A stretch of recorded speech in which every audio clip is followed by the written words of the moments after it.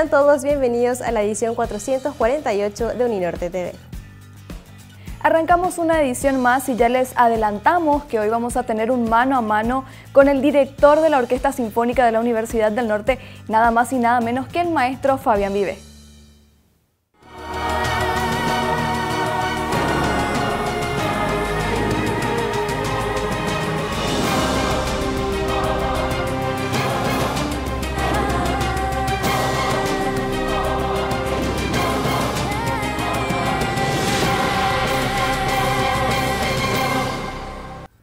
El seminario de psicoanálisis organizado por la Escuela de Acción Psicoanalítica Arandú participaron especialistas nacionales e internacionales. Uno de los participantes afirmó que el psicoanálisis enseña a pensar y que al final del tratamiento el paciente sabe lo que le pasó. Otro de los participantes fue el doctor Gómez, que tuvo a su cargo un comentario breve de un fragmento de uno de los textos del psicoanalista francés Lacan. El doctor Gómez señaló que se debe promover la enseñanza del psicoanálisis.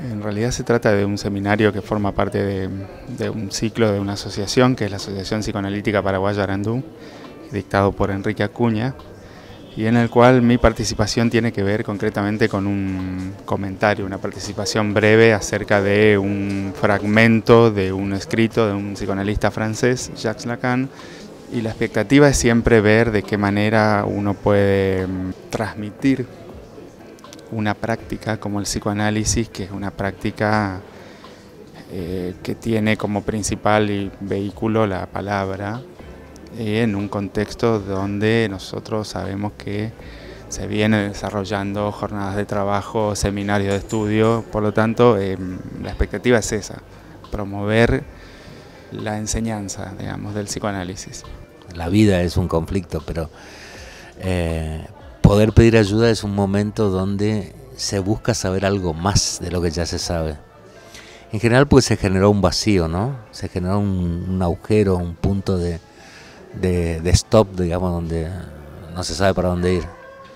Entonces, ir a hablar con alguien que no te diga qué hacer, sino que te enseñe a pensar la situación. Y sobre todo, el psicoanálisis es un tratamiento de palabras, de curarse con palabras, o sea, buscar la palabra justa para esa crisis.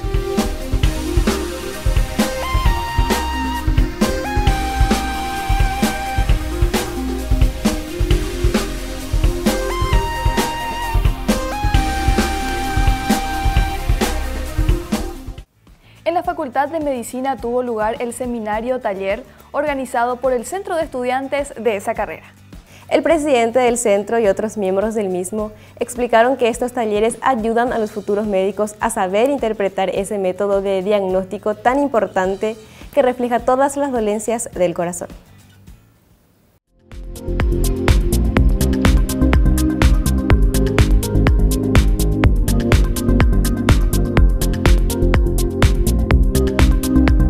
Nosotros desde que estamos formando parte de lo que es el centro de estudiantes nos estamos enfocando en la formación de los alumnos. ¿verdad? Nosotros estamos con todas las enseñanzas que los doctores nos están brindando en aula, pero un apoyo que nosotros estamos brindando además para justamente poder ampliar los conocimientos de los alumnos, ¿verdad? realizando charlas de distintos temas enfocados a lo que a nosotros nos pueda servir el día de mañana como profesionales, como futuros médicos. Y el tema que nosotros estamos eligiendo ahora es electrocardiograma, un tema muy utilizado desde la residencia y que nos va a tocar en cualquier momento poder leer y ya desde ahora poder justamente formarnos e ir manejando. Cuando en el día de la residencia podamos defendernos correctamente. Como estudiantes y como médicos, eh, todos los días vamos a estar viendo lo que es el electrocardiograma y sí o sí tenemos que saber cómo se ven las alteraciones de ciertas patologías cuando su paciente tiene un, un infarto, todo eso se traduce en el electrocardiograma. Por eso nosotros como centro de estudiantes eh, vimos la necesidad de formar a los alumnos, hablamos con los directivos de la carrera y que nos apoyaron para que hagamos todos estos talleres que son principalmente para beneficio del estudiantado. En las primeras clases estuvimos dando las generalidades, cómo se lee un electro normal, después estuvimos viendo las, eh, arritmias con frecuencia baja, arritmias con frecuencia alta.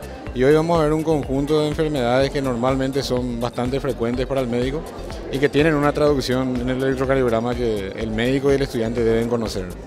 Y el agradecimiento por la confianza tanto de las personas que están al frente de la facultad como de los estudiantes que pusieron su confianza en mi persona en venir a escuchar esta charla.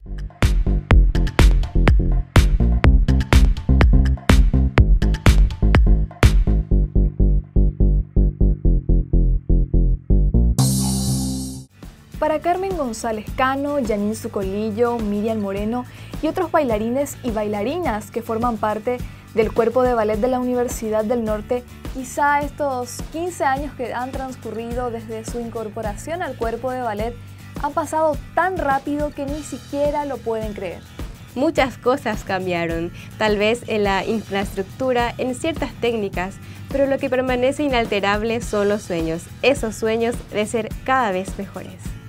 Los compañeros y compañeras fueron cambiando, hay nuevos bailarines, nuevas bailarinas, pero esa entrega y la dedicación con el alma sigue intacta como aquella vez en la que hicieron su primera presentación para lograr formar parte de este cuerpo de ballet.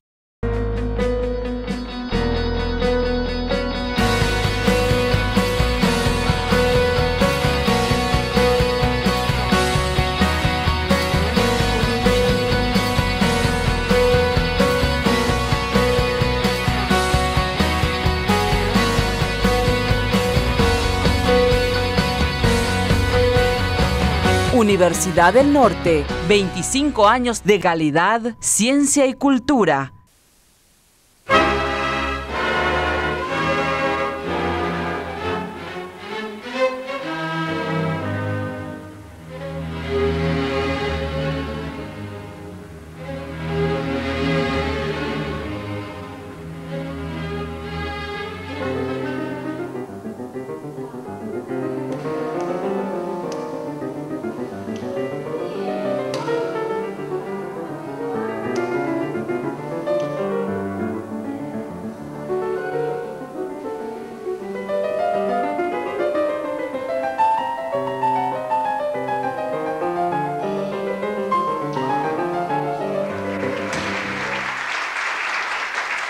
Creo que se inicia una nueva etapa en Paraguay con respecto a poder concretizar en esta tierra lo que generalmente aquellos que tenemos la oportunidad, tanto Cecilia, yo y algunos otros bailarines que están en la compañía, tenemos la oportunidad de visitar compañías de alto nivel en el mundo entero, de poder decir acá también podemos hacer las cosas bien.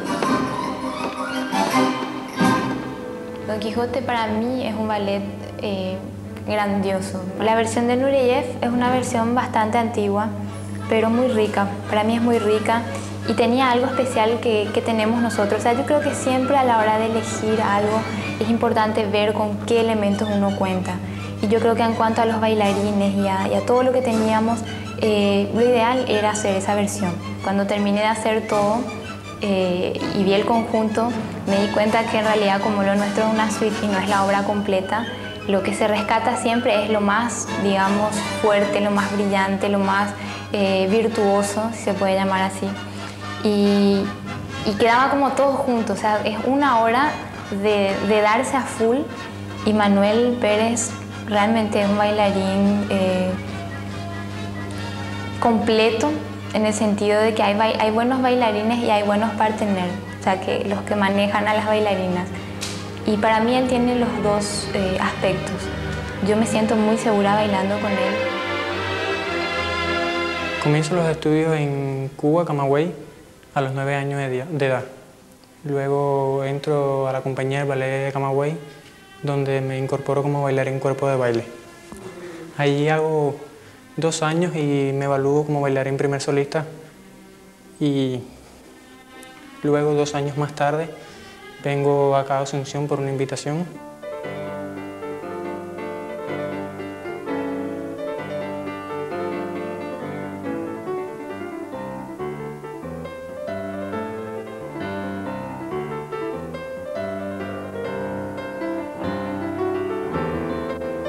Eh, me enteré Mediante las publicaciones que se hicieron en el diario, me interesé en el mismo y participé, aunque no pensaba que iba a pasar, pero pude lograr. No, nunca me imaginé poder ingresar a un ballet teniendo esta edad. Es una oportunidad enorme, me, me hace sentir súper bien porque uno, qué sé yo, busca en donde puede demostrar el talento que tiene y a veces no hay muchos sitios o, los, los ballets están todos repletos, llenos. Por el momento eso es lo único que quiero hacer. Acá hay muchísima gente que, que quiere trabajar de verdad, o sea, que tiene muchas expectativas y que creo que vamos a llegar lejos.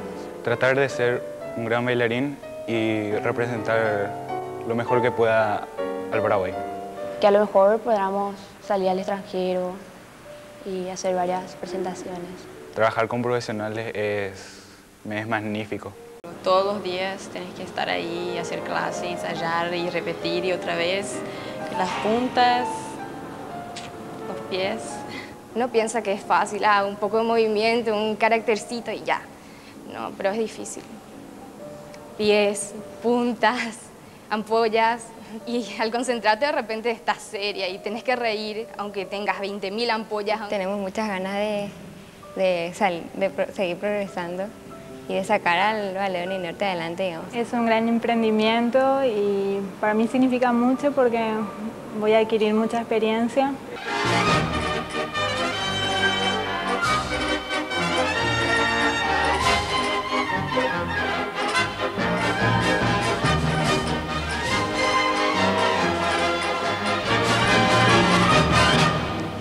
Le conocí a Cecilia Segovia allá en Francia y ella me propuso de venir para, para probar. Tiene que ser una cosa muy así española, expresiva. Algo del pueblo, bailo una seguidilla y después en el tercer acto eh, participo de la boda de Kitri como la corte. Yo bailo el fandango, que es una danza de carácter y es una danza del tercer acto.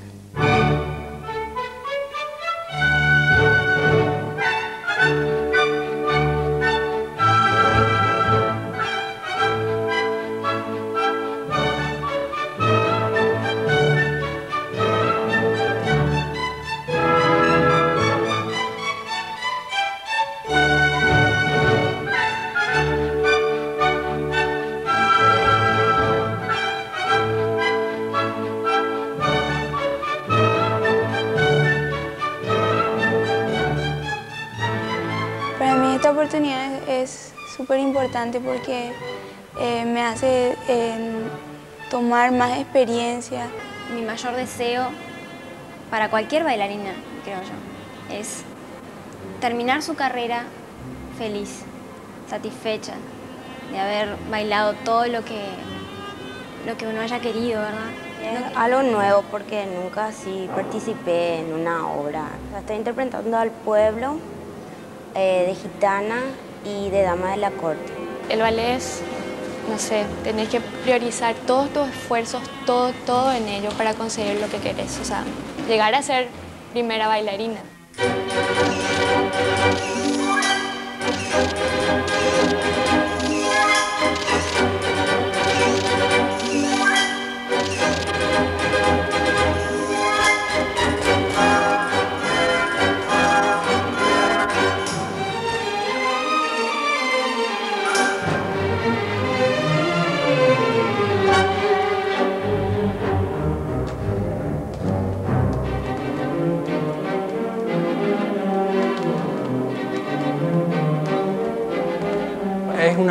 Oportunidad, no es buena, buena es poco para decir, porque siempre son metas que se debe dar al bailarín, tener mucho trabajo y es la única forma de superarse. Con el apoyo de mis padres, em, siempre me incentivaron a, a seguir lo que a mí me gusta. Llegar a ser una gran bailarina como Cecilia Segovia y enseñar. Seguir bailando, progresar si puede ser llegar a ser solista. Bailar bien porque es lo que más cuesta, ¿verdad? Y es con lo que cada noche uno empieza a soñar con las correcciones, con esto, con lo otro, ¿verdad? Eh, creo que están las condiciones dadas pasando por la estructura de toda la universidad, desde la dirección general de la universidad, desde la dirección del ballet, desde los componentes, desde el talento que existe entre los bailarines, desde el talento que existe en la gente de producción, todo el equipo que está dispuesto a, poner realmente lo que hay que poner para hacerlo bien.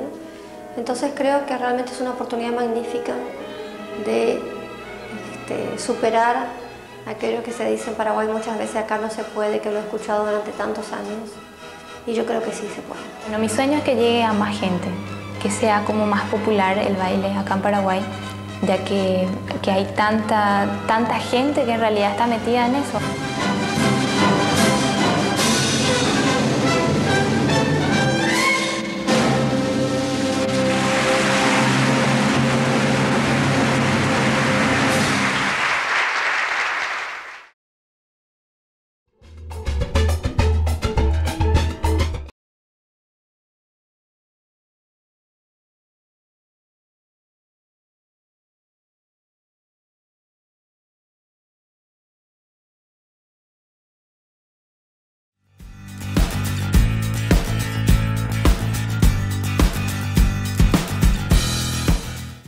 Iniciamos este bloque con nuestro invitado especial, quien es un joven talentoso, nada más y nada menos que el director de la orquesta, el maestro Fabián Vive. ¿Cómo estás, Fabián? Bienvenido.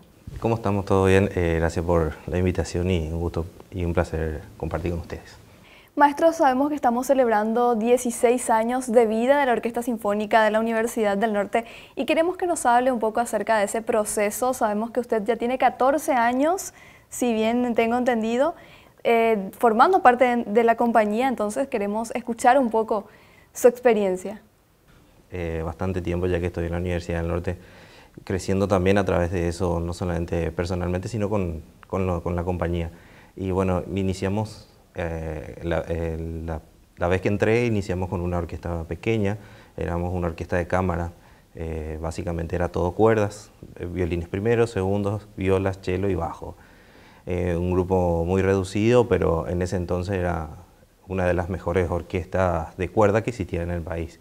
Conforme con lo que llevó el tiempo y con los ideales eh, de, la, de, la, Universidad del Norte, eh, fuimos creciendo. hicimos representaciones de obras un poquito más, más grandes, clásicas, después ya en el plano de la ópera y ballet, y eso llevó a que la universidad haga un gran esfuerzo en ese momento y contraten músicos de, de talla eh, mayor, o sea, internacionales, tuvimos argentinos, brasileros, chilenos, colombianos, eh, también españoles, bastante gente que, que, conformaba en ese entonces la, orquesta y hoy en día ya somos la mejor, una de las mejores orquestas, particularmente no porque soy el director, pero sí realmente la mejor orquesta y, con mayor utilidad en el tema de a la hora de acompañar cantantes, eh, a la hora de acompañar ballet, así que el crecimiento fue enorme, no solamente personalmente, eh, musicalmente, sino también estructuralmente. ¿Cuándo fue que te diste cuenta que la música iba a ser tu vida entera, que iba a ser tu profesión? Empecé desde muy chico, desde los seis años. Eh, uno siempre cuando está en familia, eh, tengo hermanos mayores que ya se dedican a la música, entonces por ende el hermano menor tenía que, también seguir los pasos. luego de unos años me di cuenta que lo llevaba adentro, eh, y gracias al apoyo de mis padres que, que me inculcaron el tema de, la, de, seguir algo y no dejarlo en el camino, hoy estoy trabajando de eso. Eh, en ese momento era difícil pensar que uno eh, pueda trabajar de la música, además de la música clásica, era difícil pensar que uno como músico iba a decirse o llamarse profesional. Hoy en día, sin embargo, hay una gran cantidad de gente que, que puede tomar la decisión, bueno, voy a seguir música y puedo ser profesional. Entonces, eh, a partir de los 10, 12 años, cuando ya integré orquestas juveniles, eh, es donde me di cuenta que, que, bueno, este es mi camino y bueno, antes de ahí hasta entonces no, no lo largo y espero no largarlo. ¿Qué recordás de tu llegada a Uninorte hace 14 años? ¿Cuál fue tu primer papel también en Uninorte? desde que llegué, eh, estructuralmente lo que fue el crecimiento de la Uninorte fue lo que más me sorprendió. Eh, también la oportunidad que daba una empresa privada en ese entonces era como que uno decía, esto va a seguir, no va a seguir, es solamente un año, eh, porque apoyar a la cultura no es fácil, es una plata que eh, no retorna fácilmente, también en un país en donde la cultura no es tomada muy en cuenta y como recién decía, como profesión, entonces uno decía, bueno, apostemos a esto y el crecimiento hasta ahora estructuralmente es lo que más me sorprendió y llegué como diríamos nosotros en, la orquesta músico de fila. Quiere decir que yo era primer violinista, entré como primer violinista, pero dentro de una fila eh, de, de cinco integrantes. Con el tiempo fui fui progresando y bueno, hoy en día ya saben en, en dónde estoy, en el lugar que estoy y bueno, disfrutando ya de eso. ¿Qué nos puedes contar de tu función específica? ¿Qué es ser director de una orquesta tan importante de Paraguay? La función de director musical, en este caso, soy el director de la Orquesta Sinfónica. Eso quiere decir que están, eh, básicamente para que entienda el público, eh, es como que ellos son mis instrumentos. Entonces yo voy diciéndole qué tiene que sonar más, qué tiene que sonar menos, cuál sobresale, cuándo sobresale. Esa es la función, eh, hablando a grandes rasgos, de un director. Eh, la orquesta sería el instrumento. Como un violinista, eh, su instrumento es el violín, para el director toda la orquesta es su instrumento. Siempre le suelen, se le suele comparar y los grandes directores más conocidos en el mundo son pianistas. El piano es uno de los instrumentos más completos, ya que no solamente eh, puede realizar música eh, melódica, sino también el acompañamiento. Entonces, más o menos por ese lado siempre grandes directores fueron eh, pianistas. En este caso me toca como violinista, me tocó una difícil tarea de, llevar a cabo como la dirección, pero muy grato y, la experiencia que uno adquiere dentro de la orquesta es muy grande. Entonces, el director tiene que ser el ejemplo para, para los instrumentistas, pero también esa confianza que hay entre el instrumentista y el director debería ser muy grande como para que esto después llegue al público. Así que eh, la función de director no solamente es de mover el palito como muchos creen, sino directamente es decirle, bueno, vos sonas más, vos, vos menos, y bueno, es, un poco jugar al, DJ, en donde bajamos, subimos, que quiera que sonamos, pero un poquito más complejo, vamos a decirlo. Maestro, sabemos que una de las características de la Orquesta Sinfónica de Uninorte es que trabajan también con música en vivo en cuanto a las presentaciones de ballet, por ejemplo. Entonces, hablando un poco del grado de dificultad que hay en ese, en ese ámbito, ¿cuál sería el de tocar en vivo para un ballet, por ejemplo? Justamente coincide con lo que es la próxima apuesta de la Universidad del Norte que va a presentar. Y el ballet es eh, algo mucho más complejo. Eh, el hecho de que la orquesta esté presente, marcando el ritmo a los bailarines, eh, es un poco una responsabilidad enorme porque debe haber comunicación no solamente director orquesta, sino director solistas, eh, director bailarines. Entonces es un trabajo muy, muy, tedioso, vamos a decir, en, cuanto al tiempo de trabajo, porque debe ser sincronizado siempre digo, voy a hablar directamente con eh, palabras mundanas, por así decirlo, eh, cuando cae el piecito de la bailarina, tiene que caer la música también, entonces eso es un poco eh, reflejando lo que el director debe hacer y asumir en ese momento. la música en vivo siempre tiene sus, beneficios y sus contras. Los beneficios es que el público, el espectador se llena, siente el, todo, toda la gama de, de sonidos, la fuerza que, conlleva al, el espectáculo y también eh, en, lo más difícil para bailarín es que el director se vuelva loco, haga un tiempo que no tenga que hacer y no pueda bailar. Eh, entonces es una sincronización eh, entre todos, entre todos y es un, por eso lo que hace la Universidad del Norte es difícil que lo, que lo iguale otra, otra ah, entidad, ya sea nacional o pública, por, por, el hecho de que ya llevamos 16 años, como bien lo dijiste, en esto, entonces eh, la experiencia hace también eso, que uno se sienta cómodo y como que ya lo disfrute. Sabemos que hace poco estrenaste una obra y queremos saber un poco acerca de esa obra. El viernes 23 eh, de septiembre eh, tuvimos el, concierto de concierto nuestro, por así decirlo, de, los 16 años de la orquesta, cumplimos 16 años y qué mejor ocasión que estrenar una obra para un director eh, y para, en este caso para un compositor. Entonces, eh, la ayuda que nos da la Universidad del Norte, que, la confianza que tiene el doctor Marcos hacia mi persona en ese, ámbito, me dio a que yo, bueno, le pida, ya que estamos los 16 años, puedo estrenar algo. Eh, entonces, tuve la, la, posibilidad de estrenar una obra que, de nombre Romeo y Julieta, una obra muy muy conocida eh, teatralmente, ya que conocemos, también este año se celebra los 400 años de inmortalidad de, de, William Shakespeare, entonces en alusión a eso yo hace unos años estoy viniendo componiendo una obra sobre eso y ojalá en un, futuro muy cercano pueda estrenar es una obra de ballet, por eso lo titulé Final de, de Romeo y Julieta, que estaba basado justamente en la última parte de, de esta obra teatral contento con, con, con la forma eh, que pudimos ensayar, con la seriedad que tomamos y hoy en día hacer una obra eh, eh, para que un compositor estrene es muy difícil. Entonces dirigirla es doblemente más difícil y contento por eso y ojalá que, que podamos seguir en este, en este camino y que la universidad siempre siga, siga apoyando la cultura, no solamente el doctor, sino también el resto de, de la gente y bueno, es, eh, eso va a ir creciendo y hace crecer a la cultura también dentro del país. Maestro, muchísimas gracias. ¿Le gustaría agregar alguna cosa más antes de irnos? Gracias por la invitación y, gracias también por, por el, eh, la difusión que hace eh, la parte de, de, lo que es prensa audiovisual de la Universidad del Norte. Dar un enfoque hacia la parte cultural es muy amplia, recién lo dije y lo vuelvo a repetir eh, a, una sociedad se lo, se lo critica o se lo atiende por la cultura. Entonces, eh, lo que está haciendo la Universidad del Norte es enorme, ya queda para la historia, ya quedan todos los nombres para la historia y por sobre todo el nombre del doctor Juan Manuel Marcos, quien es que apuesta a, a, esto y a nosotros y bueno, ojalá le podamos retribuir en un, por lo menos un 10% de lo que él ha hecho por el país. Entonces, contento de celebrar 16 años, vamos por más y esperamos que el público asista a lo que será la, próxima apuesta, que es el, eh, Don Quijote de la Mancha. Eh, y bueno, eh, nada más eso, agradecerle a usted y, bueno, cuando quieran, siempre estaré acá. Muchas gracias, maestro. Ustedes no se muevan, vamos a una pausa y enseguida volvemos.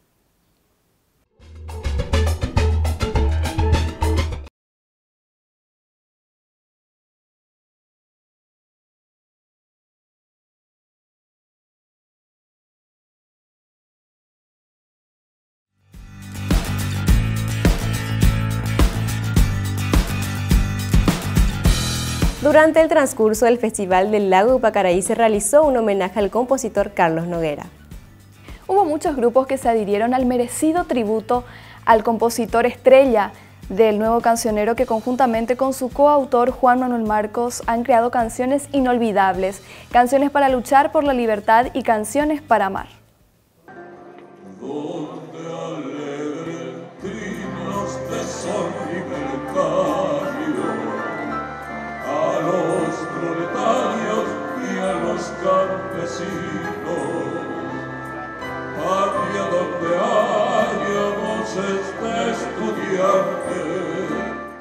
Estamos ya preparados para el gran homenaje a nuestro compañero Carlos Noguera y gracias a ustedes por, por venir.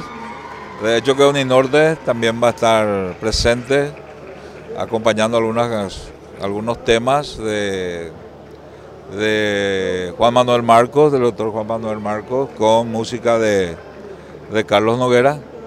Y bueno, estamos contentos porque es un justo homenaje eh, eh, que se le hace a un compositor que tiene muchos méritos, que fue y sigue siendo uno de los puntales de la nueva canción paraguaya, que surgió más o menos ya por el 70, ¿verdad? Entonces, muy contento por eso y eh, contentos también porque eh, no, la Uninorte va a estar presente, o sea, el coautor más importante de Carlos Noguera, que es Juan Manuel Marcos, también va a estar este, presente con un apoyo de músicos de la orquesta de la Uninorte.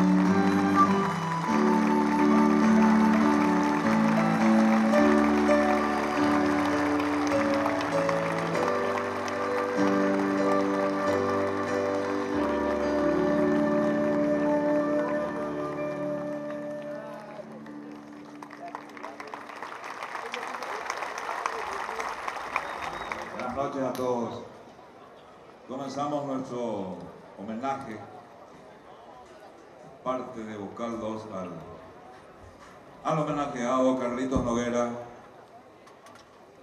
que le cantamos una de sus mejores obras a la residenta de Juan Manuel Marcos y Carlos Noguera que acabamos de cantar. Carlitos, felicidades hermano, más que merecido este homenaje por toda tu lucha. En un viaje de la periodista Janine Warner, auspiciado por la Embajada de los Estados Unidos aquí en nuestro país, la sede de la Facultad de Educación y Ciencias Humanas de la Universidad del Norte fue una de las instituciones privilegiadas en contar con su presencia. Ella es consultora y expositora en Estados Unidos, Latinoamérica, Europa y Asia.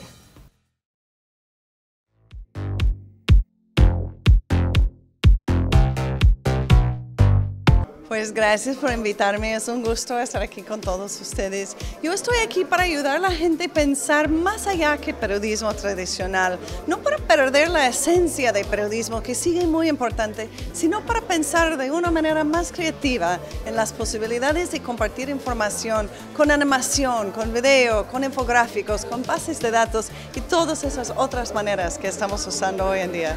Pues la verdad yo uso todos y lo que más me anima de Internet y tecnología tecnología en general es el hecho de que puedo aplicar lo que más corresponde a la historia. Entonces algunas cosas son mejor cuentos en, en, video, otros mejor en texto, otros mejor cuando estamos usando las redes sociales. Hay una gran variedad de opciones y eso la verdad es una de las cosas que me fascina. Esto es y el hecho de que puedo leer periódicos, revistas y todo de todo el mundo desde donde estoy.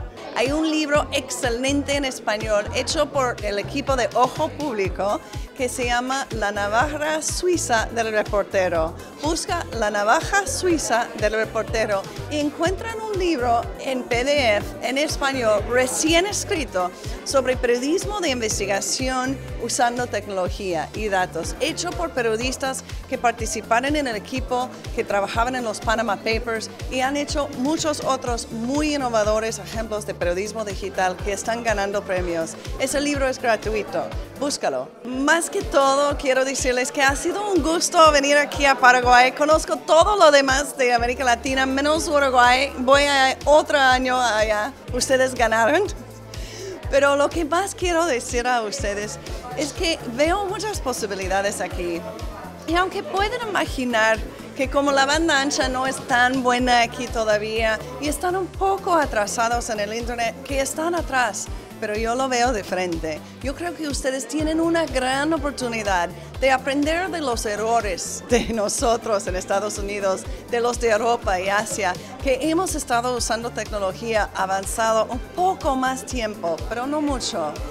Pero pueden aprender de lo que hemos hecho bien y mal para inventar lo que más funciona aquí en Paraguay con toda esa información. Les deseo toda la buena suerte con eso. Veo muchas posibilidades aquí.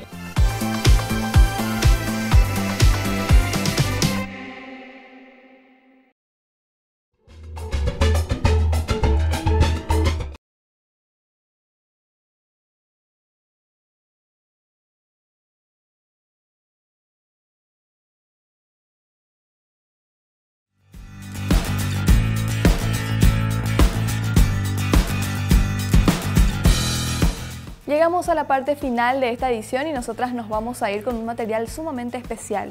El concierto ofrecido por la Orquesta de Uninorte en adhesión al tercer Simposio Internacional de Ingeniería y también en conmemoración a los 16 años de vida de la Orquesta Sinfónica de Uninorte. Este evento estuvo bajo la dirección artística del maestro Fabián Vive. No se olviden de seguirnos en nuestras redes sociales en Facebook, Twitter o YouTube o escribirnos a info.uninorte.edu.py o bien visitar nuestra página web www.uninorte.edu.py.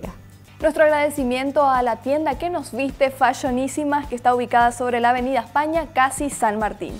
De nuestra parte es todo, nos volvemos a encontrar el próximo sábado a las 11 de la mañana aquí por PTV. Hasta entonces.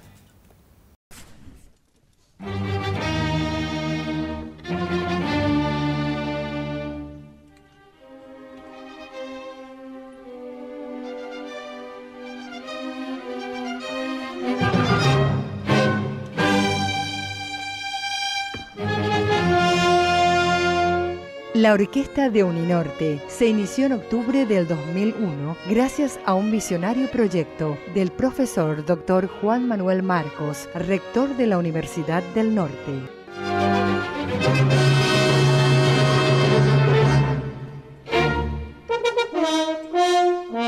Los integrantes de la orquesta fueron seleccionados a través de un concurso, donde numerosos candidatos fueron examinados por un prestigioso jurado de músicos internacionales. Fueron seleccionados 14 músicos nacionales y del exterior. En diciembre del 2001, la Orquesta de Uninorte ofreció su primer concierto en el Salón de Convenciones del Banco Central del Paraguay ante un inmenso y expectante público. La orquesta debutó con las cuatro estaciones de Antonio Vivaldi y estuvo presente el gran violinista argentino Alejandro Drago, quien actuó como solista.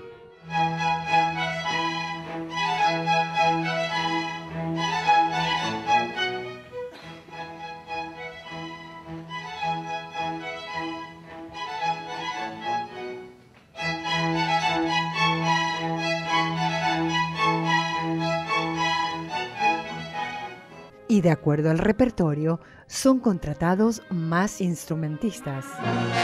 La Quinta Sinfonía de Mahler y la ópera Aida han demostrado el carácter monumental de la orquesta de Uninorte.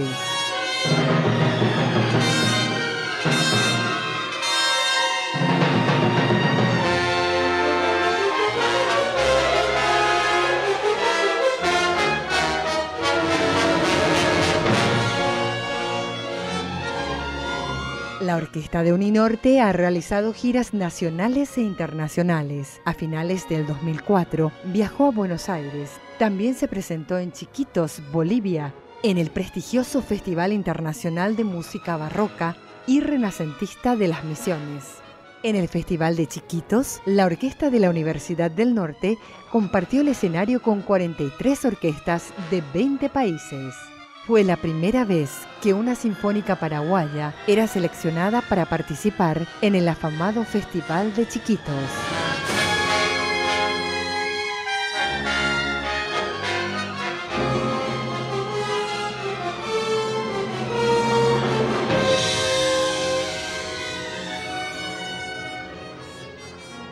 En el 2005 recorrió cinco ciudades del interior, entre ellas Villarrica Encarnación y Concepción.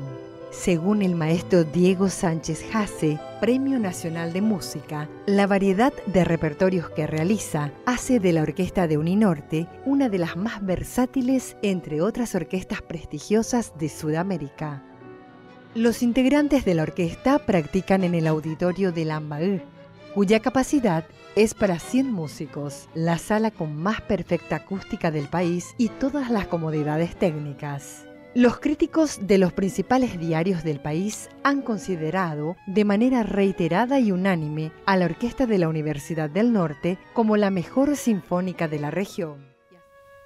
En agosto del 2006, la Orquesta de Uninorte llevó a cabo con mucho éxito su Gran Concierto 2006. Este espectáculo contó con la presencia del primer violín de América, Alejandro Drago, y del reconocido trompetista Rodolfo Rosón, solista de la orquesta del Teatro Colón.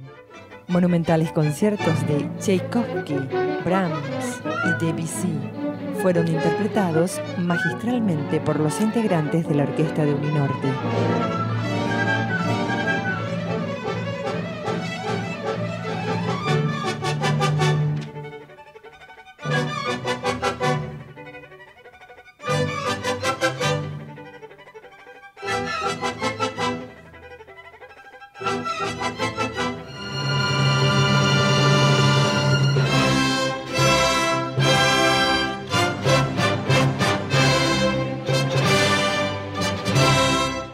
Otra de las grandes presentaciones de la Orquesta de la Universidad del Norte en el 2006 fue el concierto Quinto Aniversario.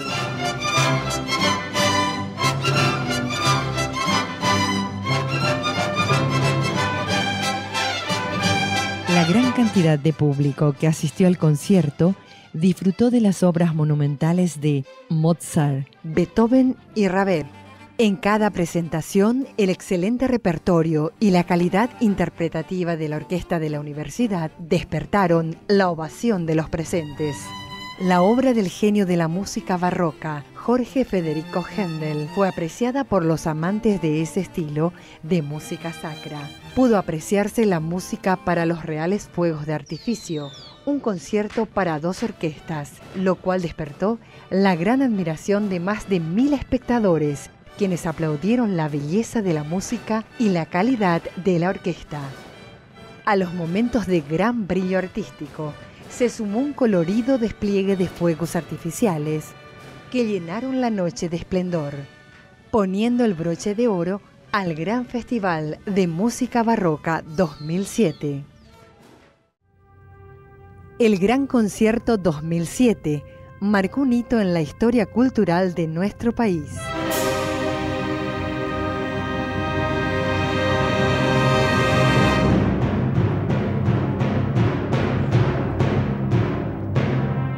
Por primera vez en Paraguay se interpretó Así habló Zaratustra del compositor alemán Richard Strauss.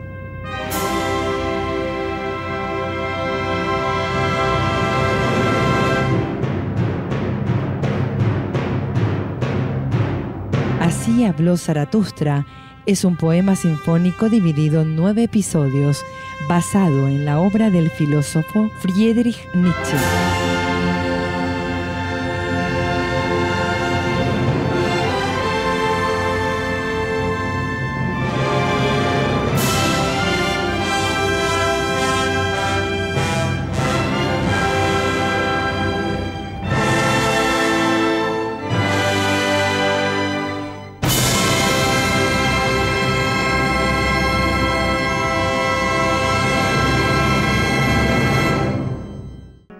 Como broche de oro, el Gran Concierto 2007 se cerró con el concierto para piano y orquesta número 2 en Do menor, opus 18, del compositor ruso Sergei Rachmaninov. Este concierto para piano y orquesta fue estrenado en 1901 y tuvo un inmenso éxito de crítica y público. Esta obra es una de las más representativas de uno de los mayores artistas de la historia de la música.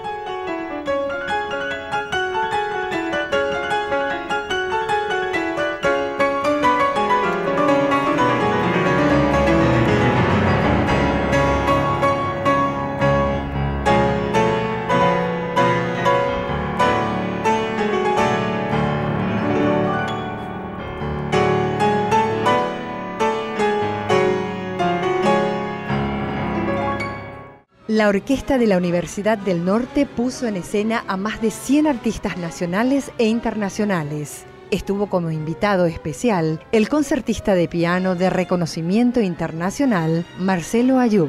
Además de todas estas actuaciones, es preciso mencionar que esta orquesta acompañó a la ópera y al ballet de Uninorte en todas sus presentaciones.